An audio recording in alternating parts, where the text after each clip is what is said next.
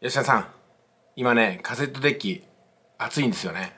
あの YouTube で昭和じゃない1980年代90年代のラジカセを語るみたいなのがあってね当時の憧れのラジカセとかが中古で出てるんですよね。で確かにこれ欲しかったっつって今もらってもカセットテープをかけるわけでもないしゆっくり音楽を聴くってことはないんですよ。ただ所有したい。あの頃手に入らなかった懐かしさを今だったら手に入れることができるみたいなね。なんかそんな気持ちがありますね。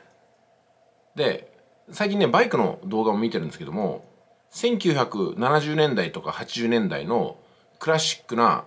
当時のあの川崎とかのねバイクがねものすごい値上がりしてるらしいですね、えー、私が知ってるバイクって Z2 とかゼファーぐらいしかないんですけどももうとんでもない値段がついて1000万円になってるらしいんですよ。うん、だから当時ね暴走族を中心に二足三門で盗まれたバイクが今はねそんな高値をつけていると。特に改造してないそういったバイクがなかなか手に入んなくって高値をつけてるらしいんですよね。で展示はしてるけど買える人がいないみたいな現象も起きてるみたいで。いやはや問題だ。問題じゃないか。懐かしさって金になりますね。それじゃあ。